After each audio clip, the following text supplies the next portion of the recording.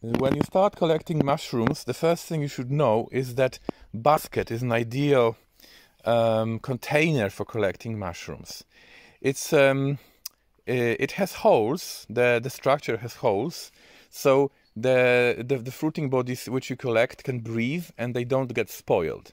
If you collect mushrooms in a plastic bucket or in a plastic bag, that's the worst. Uh, then there is a danger that they will kind of start fermenting, rotting. The temperature will be high if it's exposed to the sun, and also um, fruiting bodies might be damaged. So actually, there are more poisonings with mushrooms because people collect them with the wrong in the wrong containers because they carry them for hours and hours in plastic bags or leave them in the car.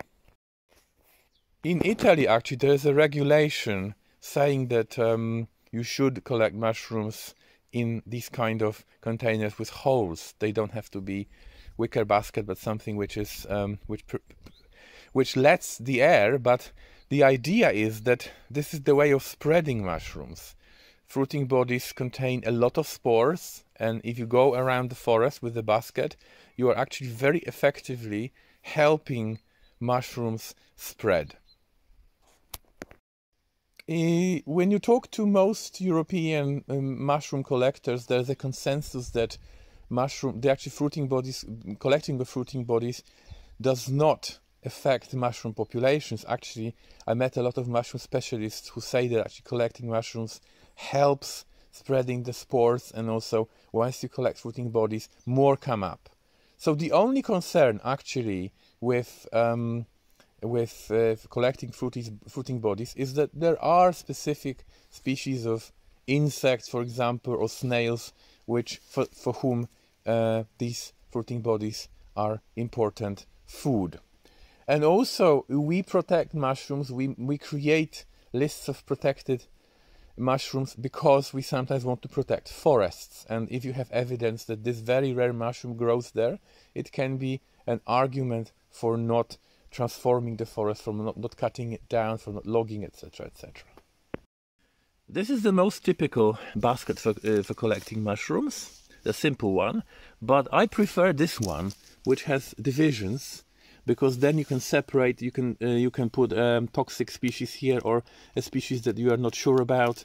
You can also separate uh, particular species, and it's uh, especially good for small fruiting bodies. If you have a lot of uh, porcini, a lot of ceps, yeah, yeah, you, you, you, you wouldn't bother about such a basket. Another basket is a basket which you carry on your shoulders. This one I got in Laos, in Luang Prabang. It's um, made by Kamu people who live in the jungle near Luang Prabang. Uh, it's made of bamboo and rattan, has rattan um, holders. But um, it's a it's a fantastic basket. You can bring a lot of mushrooms, but I use it quite rarely. It's because um, when you find a new mushroom, you have to take it down or kneel, and then all the mushrooms come out. So I use it only for collecting um, saffron milk cups uh, because um, when they appear, they appear in large quantities, and then I can go to a location when there's a lot of them, put the basket, and then go around, collect for 10 minutes, and then pick the basket, go to another location. And then if you want to collect a lot of mushrooms, bring like, I don't know, 30, 20 kilos, it really makes sense. Uh, the fourth uh, basket I wanted to show you is a is a basket which you carry on the side of your body. You have a um, a strap and you just put it across like a bag, like a laptop bag, and it stays on the side of your body so your hands are free.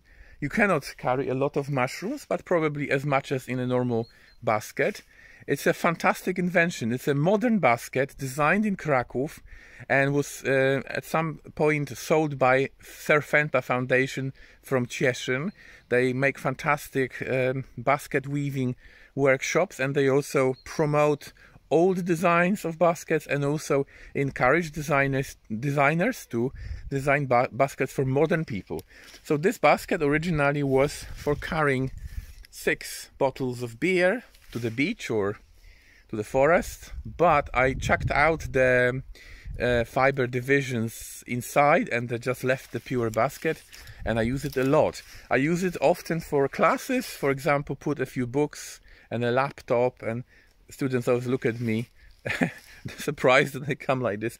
I also actually use this, if I have more books to carry, I use this basket to carry books into the classroom and then, or even for shopping. Imagine going to Lidl with it. It's fantastic. Anyway, I hope you start mushroom picking now because it's September.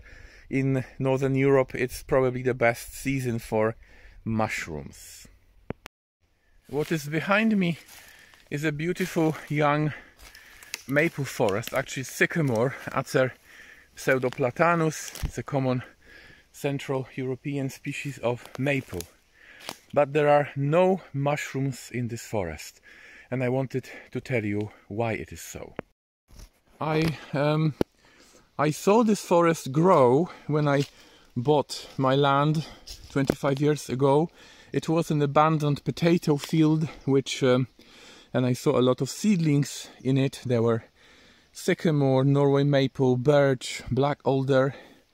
With time, I removed black alders, left the sycamore and Norway maple because it's um, for the future production of wood is more profitable. But I leave a lot of the older trees to rot, you know, to create more biodiversity, like here. Um, so the thing is that if you have Acer species, you usually have very few or no edible mushrooms. You should remember about it. This is because of two types of mycorrhizis. So mycorrhizis is um, relationship between the roots of plants and mushrooms. Uh, usually it's a symbiosis. Both um, both sides get benefits.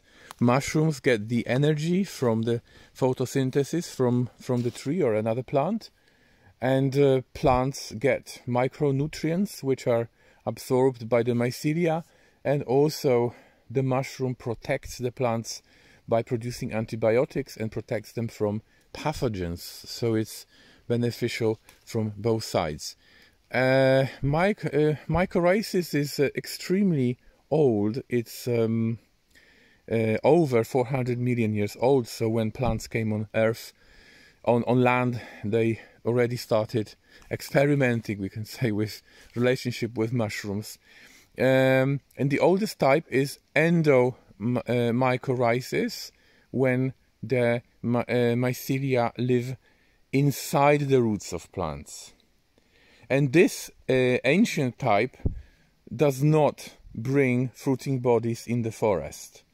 Um, and from this type, many times independently, arose ectomycorrhizis. Ectos means, uh, in ancient Greek, means outside. So mycelia grow around the roots of plants. And, and uh, with this type, it's very common to have uh, nice fruiting bodies, some of them edible. And then the type of um, mycorrhizis is closely uh, associated with the type of tree. So certain genera do not have ectomycorrhizis, like maples. So if you have maples of any kind, then they there won't be fruiting bodies associated with the roots of trees. Also elms are like this. Also um, rosaceae species like rowans and maples and pears. So if you see these trees, you usually won't have uh, ectomycorrhizis and nice, nice edible fruiting bodies like, you know, uh, boletes, like chanterelles, uh, milk cups. They are all dependent on the on ectomycorrhizis. So typical ectomycorrhizis trees are oak, birch, fir, beech, hornbeam, uh, larch, spruce, they will all um, promise some uh, crop of edible mushrooms. But if you see a maple forest, no.